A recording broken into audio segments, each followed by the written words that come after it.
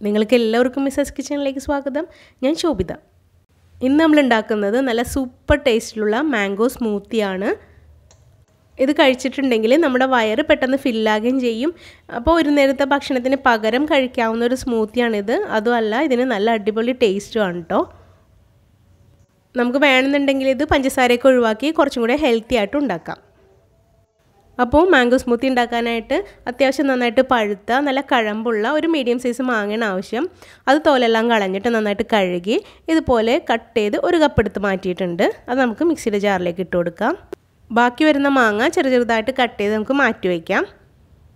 ഇനി ഇതിനകത്തേക്ക് ഒരു മുക്കാൽ കപ്പ് പാൽ ഒഴിച്ചു കൊടുക്കാം. ഫ്രീസറിൽ വെച്ചിട്ട് ഐസായി തുടങ്ങിയ പാലാണിത്.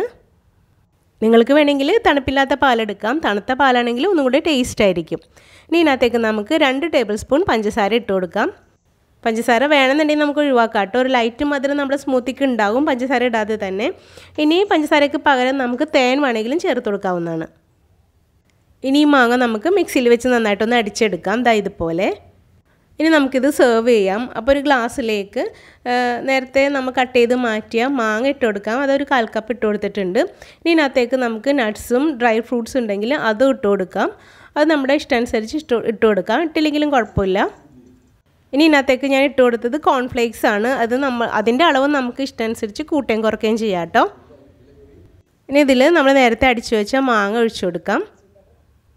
നന്നായിട്ടൊന്ന് മിക്സ് ചെയ്തതിന് ശേഷം വീണ്ടും കുറച്ചും കൂടെ മാങ്ങ ഒഴിച്ച് ഒന്നും കൂടെ ഫില്ല് ചെയ്തിട്ട് നമുക്ക് വേണമെന്നുണ്ടെങ്കിൽ കോൺഫ്ലേക്സും കട്ട് ചെയ്ത മാങ്ങയും പിന്നെ നട്ട്സൊക്കെ ഇട്ടിട്ട് ഒന്ന് ഗാർണിഷ് ചെയ്യാം. അപ്പോൾ തീർച്ചയായും നിങ്ങൾ എല്ലാവരും ഇതൊന്ന് ട്രൈ ചെയ്ത് നോക്കണേ. എന്നിട്ട് നിങ്ങളുടെ അഭിപ്രായങ്ങളും നിർദ്ദേശങ്ങളും തീർച്ചയായും കമന്റ് ബോക്സിൽ അറിയിക്കണം. ഈ ചാനൽ സബ്സ്ക്രൈബ് ചെയ്യാത്തവർ സബ്സ്ക്രൈബ് ചെയ്തതിന് സപ്പോർട്ടും കൂടെ ചെയ്തേക്കണേ. പിന്നെ ഈ വീഡിയോയ്ക്ക് ഒരു ലൈക്ക് കൊടുക്കാൻ മറക്കരുത്. നിങ്ങളുടെ ഫ്രണ്ട്സ് ആൻഡ് ഫാമിലിക്ക് ഇത് ഷെയറും കൂടെ ചെയ്തേക്കണേ. താങ്ക്